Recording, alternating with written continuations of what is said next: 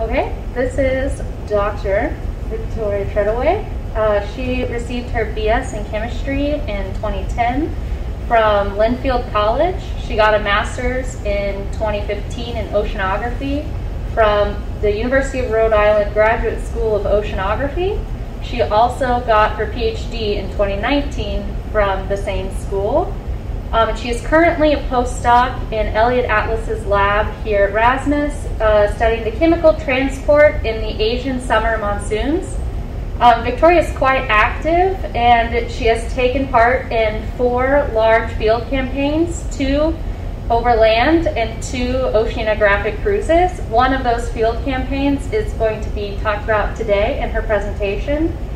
Um, she is also received multiple awards, including NCAR's Computation and Information Systems Laboratory Core Hour Award, which some of the work she's done for this presentation is how she got that award.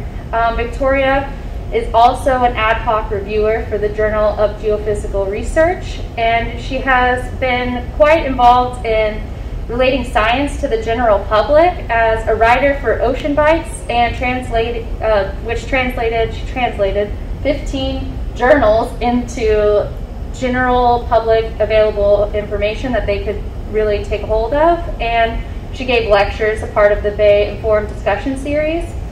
And finally, I asked Victoria if she had taken up any hobbies over the last few months through the pandemic, and she's actually completed 204 straight days of yoga via Yoga with Adriene, which is quite impressive. So, this is Victoria, and I'm really excited to see you talk. Thank you. That was very. Turn your microphone on. Okay. Hopefully everybody can hear me from here. I can hear myself over there, so it must be good to go. I am going to apologize straight off the bat for the uh, smallish audience in person. I will direct myself mostly towards my screen and using this little laser pointer because the majority of you are all online. Uh, today I'm going to talk to you about deep convection, but I want to talk about deep convection through the lens of a chemist. Um, and I'm going to talk about two projects. There we go. You to wait for me. Uh, so the first project took place in summer of 2012, the deep convective clouds in chemistry experiment. This was what I did during my master's degree um, that Casey talked about. We were based in Salina, Kansas, and two aircraft flew around the central and eastern United States looking for thunderstorms. The second campaign I want to talk about, I didn't get to participate in myself. So I've been looking at the data during my postdoc this year. That was with the NASA B-57 stationed over Guam, and that was in October 2016. I'm going to talk about the flight track that's right there. Now, before I fully jump in, I have learned, as you heard, I went to oceanography school, and my degree is actually oceanography. And so I learned how to convince all of my oceanography partners and all of the faculty and people that I've talked to why they, as oceanographers, should care about my landlocked, high altitude organic acid work. So, one thing to keep in mind is that we, as oceanographers, know that mineral dust deposition under the surface ocean is one way to get both iron and phosphorus uh, for phytoplankton, so they can take it up to nutrients. However, it has to be soluble and bioavailable, and one way that can happen is through the acidification of aerosol waters. And both formic and acetic acid, which I focused on for my PhD, they uh, are the dominant species in solution setting the pH of rainwater and precipitation throughout the globe. A little bit closer to my Rhode Island home, uh, 30 years before I defended my dissertation, there was a dissertation looking at formic acid in the marine boundary layer in the North Atlantic Ocean. So this was actually a research cruise, and like all PhD projects, he encountered some data that he couldn't explain and had run out of time and resources to investigate further, but he had some instances where he had higher than expected measurements for both acids and gas phase. And so he hypothesized in his dissertation that this downward entrainment as the source for the organic gas phase acids to the marine boundary layer, and that this idea deserved much further study. So thinking about it, it's this long distance transport of the acids or the precursors from continental or distant ocean sources and this was a possibility to help explain his higher than expected measurements. But How would those acids have gotten there? So this then, jumping 30 years later, is sort of where my work would come in. And I looked at the organic acids in deep convective systems. So this is a cartoon of a thunderstorm. This is how I would say a chemist would think about a thunderstorm cloud. Uh, so at a basic level, you have your warm air in the updraft coming into the storm system. Best case scenario, it goes all the way up through and out through the anvil into the outflow. All right, so your boundary layer air that's ingested, the storms through the free troposphere, before it hits the stratosphere, boom, and it flattens out to make that anvil. Uh, you get a lot of those in southern Florida, which are really nice to look at. But of course, like all things in the world, this is a complicated process. We can't forget that there's downdraft and air coming out back through the system. These are clouds, they're not solid walls, so air can be entrained and detrained throughout the whole cloud system. And this doesn't even get into the idea of chemistry within the system and lightning NOx and scavenger gas phases to the precipitation. Lots of fun things to think about. And so as a group in 2012, we participated in a project to look into the chemistry of this, to sort of treat thunderstorms like a black box and see if we can understand better what's happening inside. So in this project, there were two aircraft. The NASA DC-8 flew the inflow, and the NCAR NSF Gulfstream 5 flew the outflow. So our um, instrument was on board the G5. Sadly, for the organic acids, there were no DC inflow measurements, so I'll talk about how I've estimated that. Uh, the organic acids are really just species of opportunity for us, it's something that we realized our system was detecting.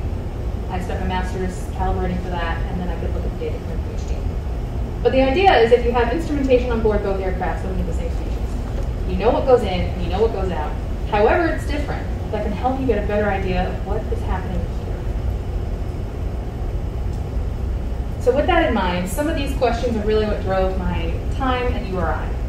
So at the first level, are formic and acetic acid lofted to the upper troposphere through mid-latitude deep convection? Um, when it comes to science talks, it's the only time I like spoilers. I like to know what I'm looking out for. So I found out yes. Uh, today I'm only going to talk about formic acid, but I did find both organic acids in convective outflow. For those of you who don't think about organic acids, um, that might seem like an obvious sort of question and answer, but both acids are very soluble, and so they are heavily scavenged in precipitation, which is why they are the dominant chemical species setting these acidity precipitation around the globe. So I did find that they were lofted through the system, which was cool. And for an air mass storm, so this is a thunderstorm where vertical velocities would be less than 20 meters per second, does size and shape make any difference? And I'll talk about why I even thought this was a question, but it links to this second one down here. So I thought though, no, generally speaking, on the air mass storms that we looked at in the model, there was no big difference in scavenging, especially statistically. And really, this final one here is really what drove a lot of the work that I did and what would cause elevated formic acid in convective outflow. So on one of these flights, we saw greater than expected formic acid, and then I spent the rest of my time trying to understand what could cause it. Was it just a large surface source that, of course, we couldn't detect because we didn't have inflow measurements? Was it uh, in situ aqueous production, which has always been speculated as a possibility with the literature going back and forth over the years? Was it storm conditions? You know, was it this air mass storm size? How much of a role did pH play? And so this is what I spent my time looking at. I'm not going to get fully into this because it's a different, another model. In the interest of time, um, skipped this, but I'd be happy to talk about it later folks. So this was it. This was the data that uh, set me on my course. Um, on May 21st, 2012, research flight 3 for DC-3 this was the flight track for the two aircraft. We left Salina, Kansas. G5 is in blue, DC-8 is in green. And then we really focused around this Alabama, Tennessee area, looking for air mass storms. Um, so here I'm showing altitude profile where altitude is on the y-axis in kilometers. Formic acid mixing ratio is on the x-axis in parts per trillion. So I have this thing called literature outflow. Um, what I mean by this is that there were some great scientists who went through and found case studies for all the different storm sizes and marked out inflow and outflow periods for all the rest of us to use. So that is what I call the literature. So I really thank them for all their hard work. Um, and as you can see, it I mean, it wasn't a, a nothing in the outflow of formic acid. It was definitely more than we saw in some inflow measurements over there, some lower altitude work to talk about. But really, it was this 650 to 700 ppt sort of range of formic acid, the around 8 kilometers, that really made us go, huh. We went, huh, because there was nothing else on any other instrument at the same time that responded in the same way. So the first thing that I looked at was like, okay, well, what, what was going on in the area? So this is some radar observations from this flight. This is just like super basic NEXRAD on Google Earth. Um, this was the main storm we were looking at that day, called the convective complex. It's like a whole bunch of little baby air mass storms all together. We sampled the upflow here.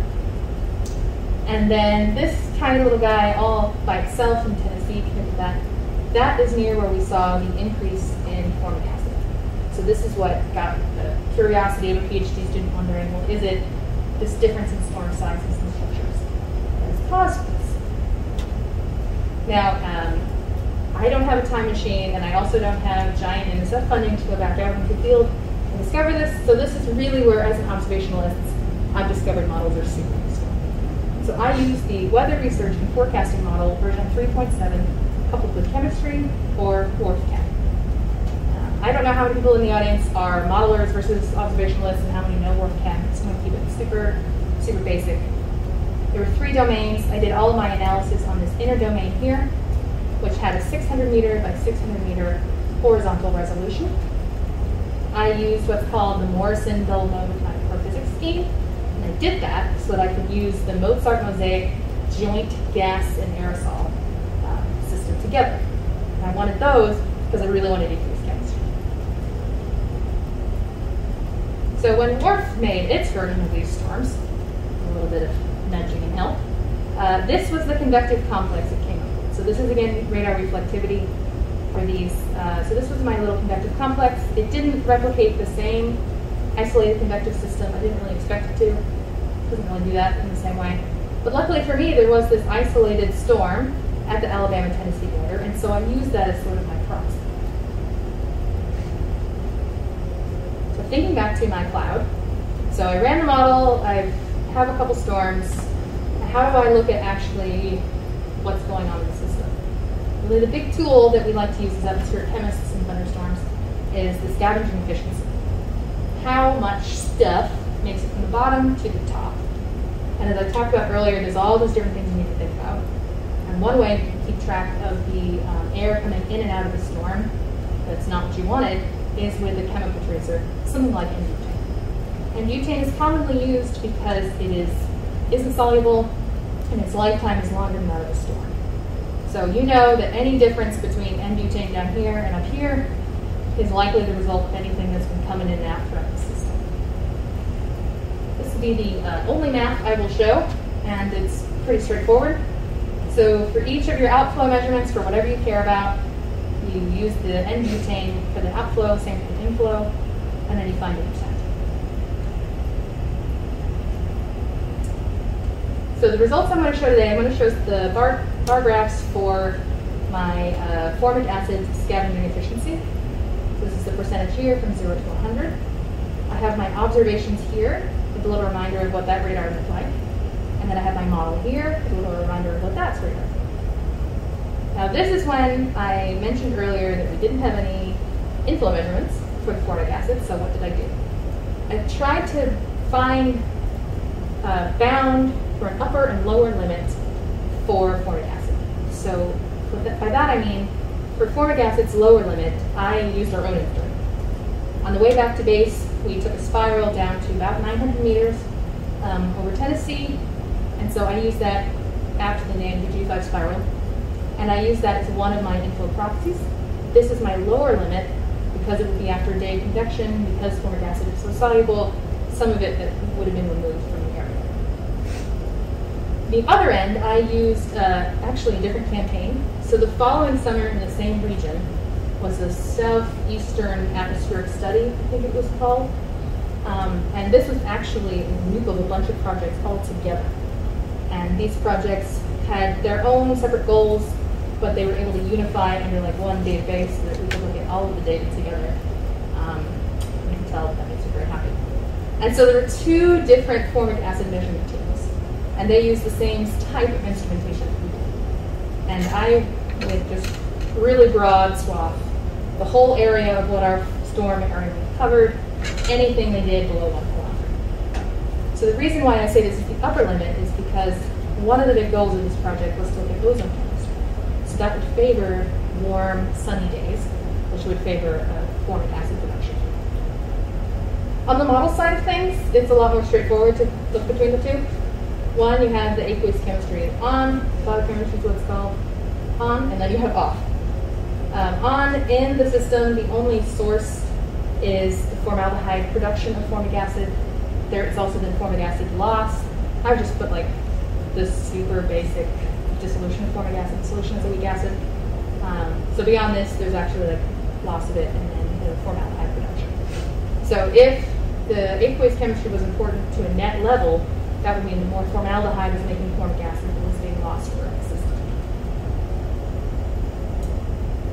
And so this is uh, what we found for formic acid. So on the observational end, we'll start here. So this is my upper limit of what I thought would be possible for the inflow. So this would also be the upper limit on the scavenger efficiency. And it was almost 80% um, was removed in this storm system using the literature outflow as well as then my SAS inflow. Notice I'm missing bar here, but really it's just negative, which is not originally what I thought would happen, but uh, the outflow was actually larger than the inflow, but looking at it, they were within 30 ppt, so they were within instrumental error. So using the G5 spiral, that basically would have said that if that was characteristic of the region at the time, there was no scavenging at all, or there was so much aqueous production that it compensated for it. Which, if we go look at the model, seems extremely unlikely. So this is definitely in the lower limit of possibilities. So the cloud chemistry off and cloud chemistry on for the convective complex, there was no difference. Which, uh, as I've mentioned, the literature has gone back and forth. There is most people think that it's not a great source, but when you see something like 750 you can't explain, you never know. So then I looked at my second storm system, my isolated convection. I just put the little pictures on here to remind you what they look like. Uh, this time we'll start with the model. So you can see that the scavenging uh, efficiency is greater. There was more scavenging in the isolated convection for the convective complex. I mean, with these error bars, I can't say anything really more than that. In general, for all of the species, both organic acids I looked at, the highest scavenging efficiency was the isolated convection with the aqueous chemistry on, which would lead me to believe that that wasn't really like that small storm wasn't letting more come through. There's also certain ways about the way the scavenging points are chosen that would play a role in this, which I'm happy to talk about with people, but trying to not get myself too into the weeds. On the observational side, again, you can see the G5 spiral, and um, then you can see this gigantic error bar on SAS. And this is because, as you could predict, when you cover a large swath of an area, in particular for the N-butane inflow, it just had a large significance. So if we just look at it like generally, um, actually the scavenging efficiency ended up being about 55% and was really nice, like nicely in line, generally speaking, with the uh, cloud chemistry off for formic acid. So all things considered, um, with no inflow sources and model things as model things always go, I thought that was pretty interesting because it really at least could bring home my my main curiosity is if they're locked in the paper And yes, they definitely are. Seen observations, and in the model moves them through as well. This is important because when we think about the global system for these organic acids, they're not everybody's favorite thing in the whole world, but sometimes they forget to include it in the bigger picture, and it plays a role in ozone chemistry and isoprene reactions. And so if things are off there, they are all, you're going to be impacted by not considering formic acid. I found that statistically, the air mass storm didn't really make a difference for scavenging between the cluster and the isolated, which also in itself was kind of cool. I also looked at the storm, because that's what you do in the model. I looked at the scavenging a function of time, and that averaged out to be about the same scavenging efficiency.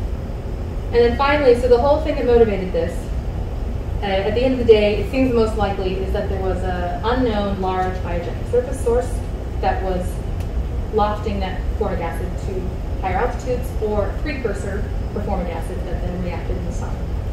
And I have to leave that there because sadly, on the time scale that we saw it, the instrumentation that looks at those biogenic precursors uh, didn't have any sample. I do think though that uh, storm conditions are going to be favorable if you want to move a lot of formic acid without like a really large source.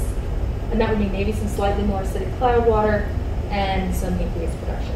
And that was from the parcel model work. So now we're going to step to the other side of sort of this thunderstorm. So I talked about how thunderstorms can move boundary layer air up to the upper troposphere for formic acid. That changes its lifetime to a couple days, 20 plus days. And then the way my PhD ended, it just goes away. Long-term transport. This is sort of the other thing, like where do the long-term transport things go? And so this was from the POSIDON project. This um, is the AWAS data, so Elliot Atlas and AWAS team, University of Miami, so not formic acid, more chemicals you're familiar with and potentially more interested in. Um, again, I like to know what I'm getting into. So I'm going to show you that there were convectively lofted Asian emissions that were detected over the western Pacific Ocean. That back trajectory and chemical fingerprinting indicate this air originated from the Indian subcontinent, and that chlorinated, very short-lived substances were elevated 75 to 190% above tropical background concentrations. And I will talk about why that's such a fun key finding. So recentering ourselves back to POSIDON, this was with the B-57 stationed up at Guam, sampling primarily from 14 to 18 kilometers over the western Pacific Ocean. And so here is the flight track I'm going to talk about today. And I'm going to talk about a couple more species in formic acid. Not going to talk about all the things that AWAS looks at because they look at a lot of really cool things. We look at a lot of really cool things. Um, sort of break down into some major categories. One major category are these long-lived organic halogens, things that have potentially more natural sources like biomass and biofuel burning, um, lifetimes of a year. The ones that everybody loves to talk about, CFCs and HCFCs, on their lifetimes of years to decades. These are the things that the Montreal Protocol deals with. And then we have these short-lived, meaning their lifetimes are all less than six months. And we have some natural ones like iodine and bromide, and then as well as the chloride species here, which are anthropogenic. So keep that in mind, it's anthropogenic VSLSs. So other big categories we look at, we look at hydrocarbons. These will have northern hemisphere anthropogenic emissions, biomass burning sources. Uh, their lifetimes are days, weeks, and months. And then the organic nitrates, which I will not talk about in reference to POSIDON, um, but will be relevant for the little teaser at the end for what's to come. Um, and these can help us look at equatorial marine photochemical emissions as well as some of the photochemical uh, reactions from lifetimes will be like. So, what I'm showing here are a whole bunch of the whole air samples collected. So, we use a team, we collect air on these aircraft in these cylinders, and then we measure them back on the ground here at UM, upstairs. And each of these little dots represent a different whole air sample. And so that's what the sample number means here. And these uh, are all colored by flight, and I've highlighted research flight 5. Uh, so what I'm showing here, and I have their lifetimes listed, are methyl bromide and chloride. Those are some of those longer-lived, uh, natural uh, halogen species. This is dichloromethane, which is one of those very short-lived chlorinated species. Then we have ethine and, uh, are those hydrocarbons. Just want to pause for a moment that this one that is now the shortest lifetime was my long lifetime during my PhD. Uh, so I, I do really enjoy that. And what you will notice here, these are all parts per trillion, is that for research flight 5, they're all higher. All of these very land-based sources are higher over the upper troposphere uh, Pacific Ocean, and in particular from the light flights around it. This one is the best comparison. Research Flight 4 was right before it, um, but the air masses they would have sampled from where they would have originated was impacted in part by the typhoon in the region at the time. And so this was like older air, where this was, as you'll see, some um, continental air, recent continental air. For those folks who prefer tables to charts or percentages to lines, um, this is the same flight data again, but a different way to think about it. So this is a set of some of the non-methane hydrocarbons, those longer-lived halogens, and then all three of those uh, chlorinated VSLSs that were all elevated. And so I've highlighted the ones that were all above 100% of the tropical background ratio.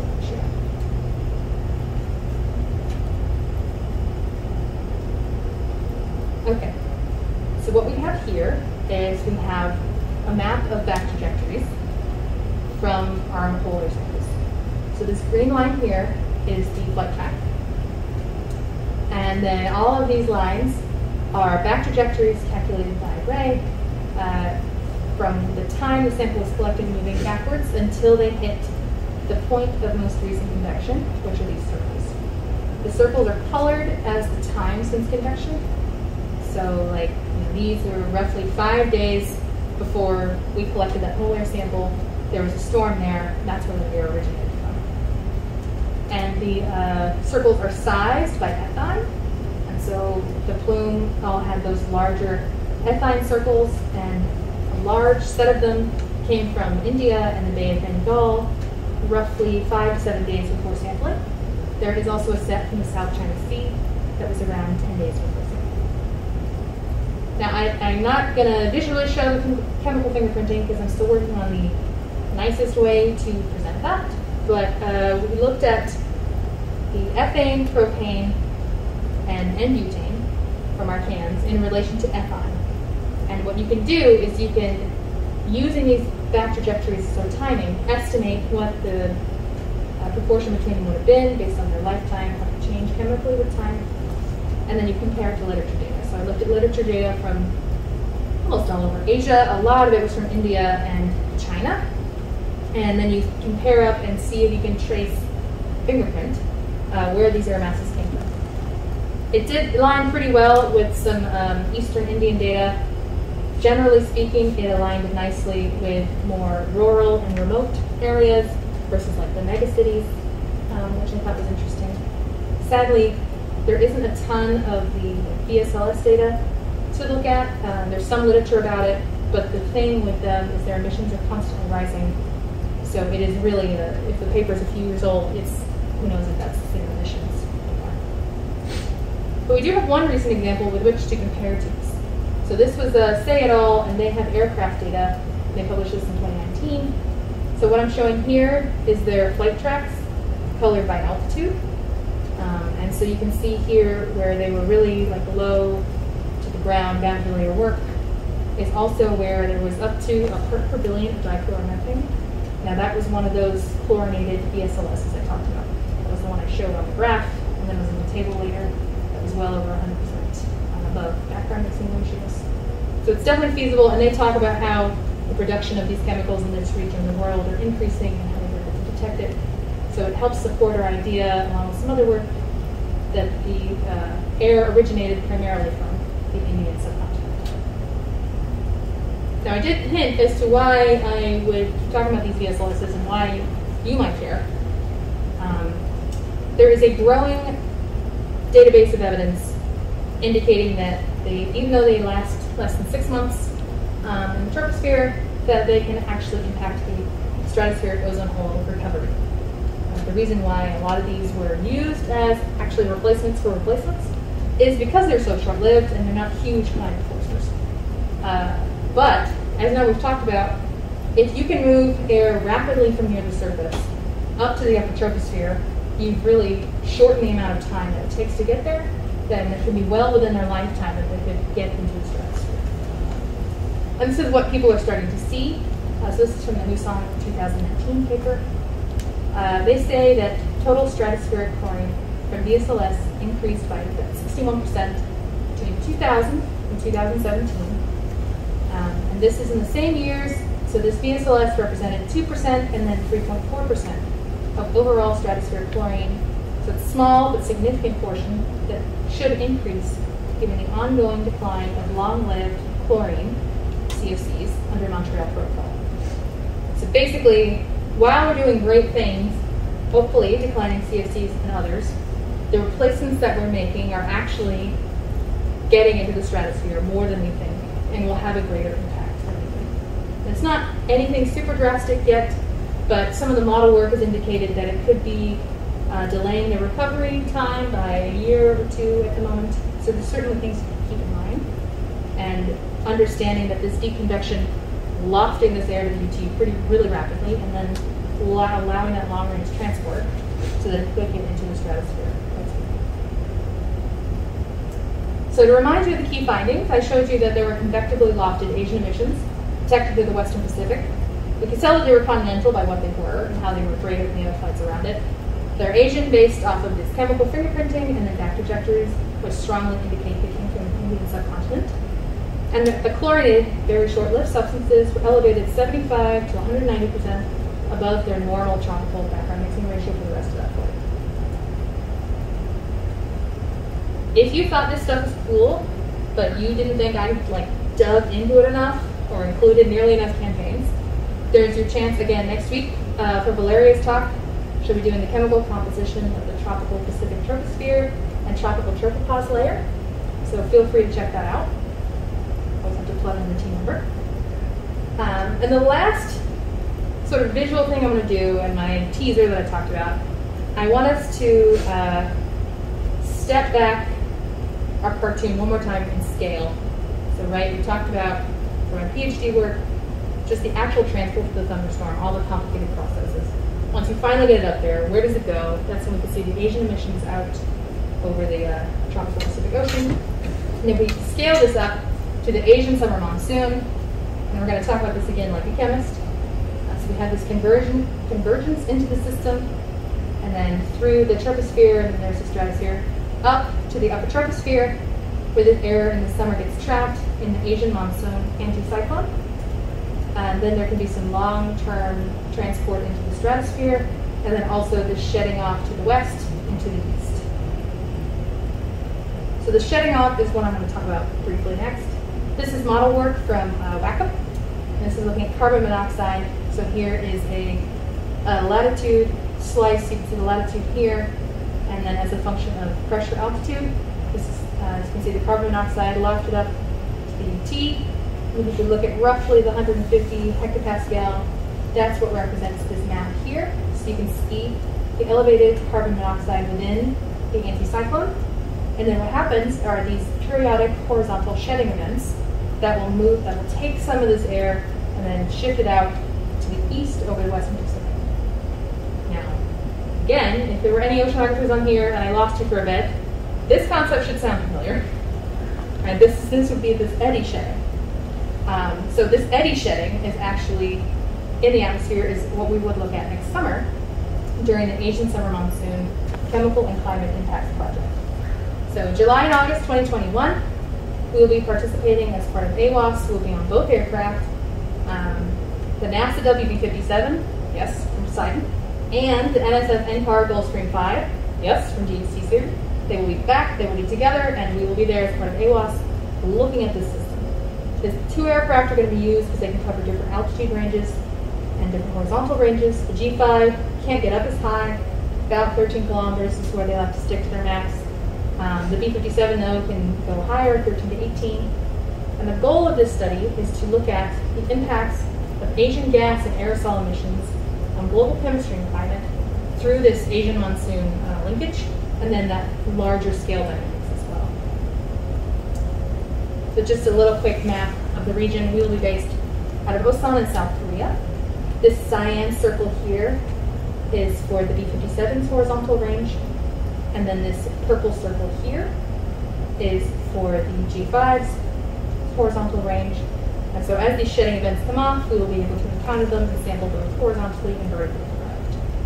So hopefully we can uh, have another talk in the future, and I can tell you what I find. I want to thank everybody for listening, both in person and here. I really appreciate you taking the time out of your busy schedules and keeping up with my fast talking. I also want to thank the ton of people who made this work possible. I couldn't list all of their names individually um, because it be multiple, multiple slides and all the funding sources. Just want to make a very quick call out to my original team.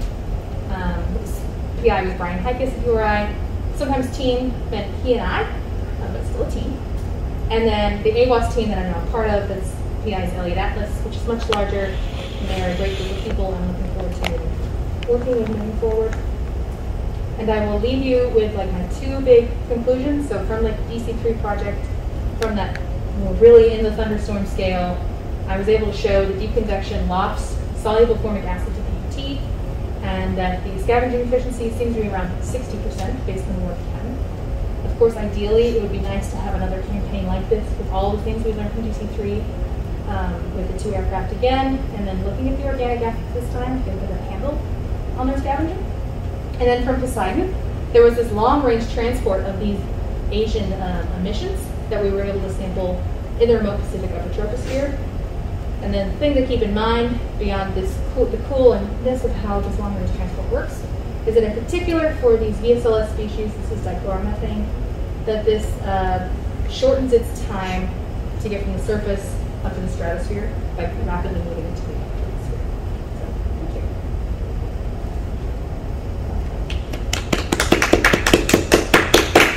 Uh, Mute myself. Okay, um, thank you very much for this interesting presentation.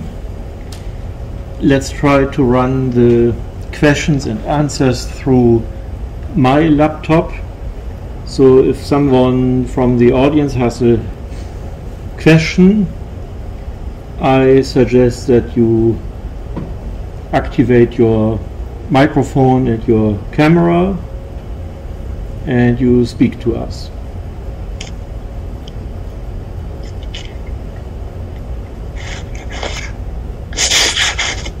Pakita, is that Yeah, I have a Okay. question. My Can you hear video- I, I wasn't able to turn on my video, so okay? my question is, I, I, I'm not a chemist. Is formic acid, that, does it interact with the cloud microphysics on the way, uh, on its journey up? Like, is there cloud processing that happens of it? Oh, definitely, yeah. Um, so, is there cloud processing of formic acid? So, not that it impacts the microphysics necessarily, but that the microphysics impacts it. Is that, I'm guessing, what you're asking? Well, yeah, I mean, you're saying it's soluble, Yep. But then you're also talking about aerosol scavenging. And so I'm getting stuck thinking about what what's going on. I guess, I guess is the formic acid going into the cloud microphysics and then falling out as precipitation? Is that is that what you Yes, yes. It's um, so it's it is a. When I say it's a fairly soluble species, I mean that it, it preferences being in the aqueous phase over being in the gas phase based on its Henry's law constant. Um, the choice it likes to make. So, sort of the generalized assumption, if people ever think about formic acid, is that if it's in this system, it's going to preferentially jump out as quickly as possible into cloud water, which can be rain, um, it can be in graupel. There hasn't really looked at, but it could get trapped also in ice as ice forms. Um, so the idea is a lot of it would be removed within the system. And by removed, I mean taken out of the gas phase into the aqueous phase. And so then as far as the model is concerned, as far as WRF-Chem is concerned, it's gone forever. Okay. Does that help? So the reason why small storms might be more efficient scavengers is maybe because they'll have more warm rain? Yeah, and well, and if they're slower, if there was more contact time.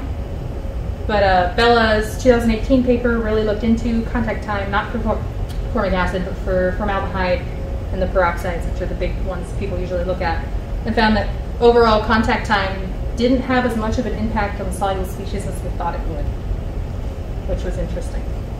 Uh, but yeah, so the idea with the air mass, if they're they're smaller, but if they're also kind of slower than the big ones, right? The vertical velocity was like 13 meters per second compared to MCS, it was like up to 50 sometimes. Um, so that would give the gas a lot more time to interact with the cloud water around it to then scavenge out the formic acid. okay, thank you. Okay, do we have more questions?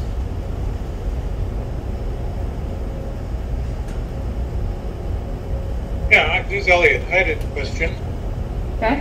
Um, uh, thanks very much, Victoria. Very, very nice talk. Uh, I'm, I'm curious about the uh, the suggestion of biogenic precursors producing formic acid, Mm-hmm. uh, and I understood you to uh, suggest maybe this is done in cloud.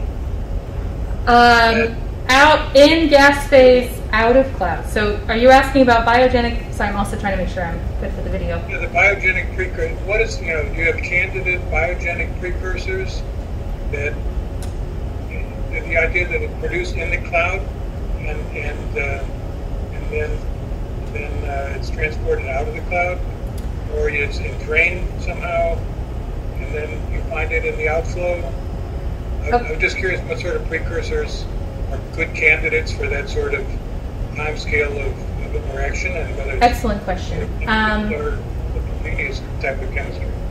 Yes, excellent question. So Elliot's asking about the biogenic precursors, and um, in the scale of things I wanted to talk about today, I couldn't get into full into, but I mean in the gas phase, not in the aqueous phase. So the thought process, they are one of their biggest, formic acid's biggest sources, uh, secondary production is from isoprene and ozone.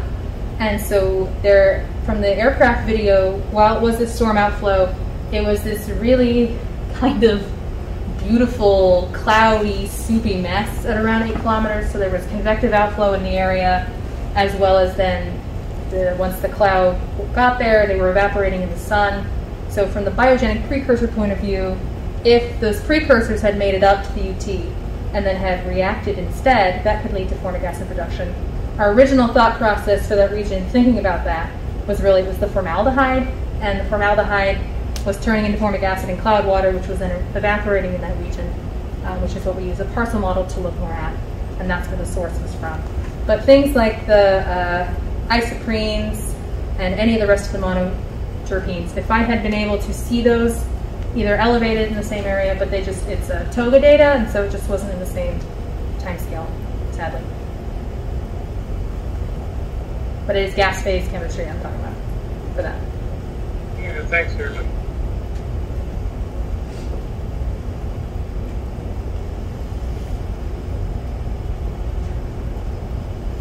Is there anybody else who has a question or a comment? Maybe not. Thank you, everybody. Then, yeah, thank you again for the nice presentation.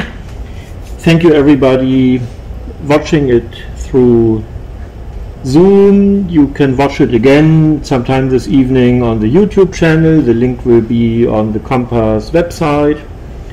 And uh, as already announced, on next Wednesday, Valeria will talk about a related topic here at the same place at the same time.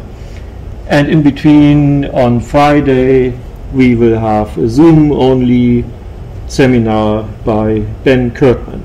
I hope to see many people there as well.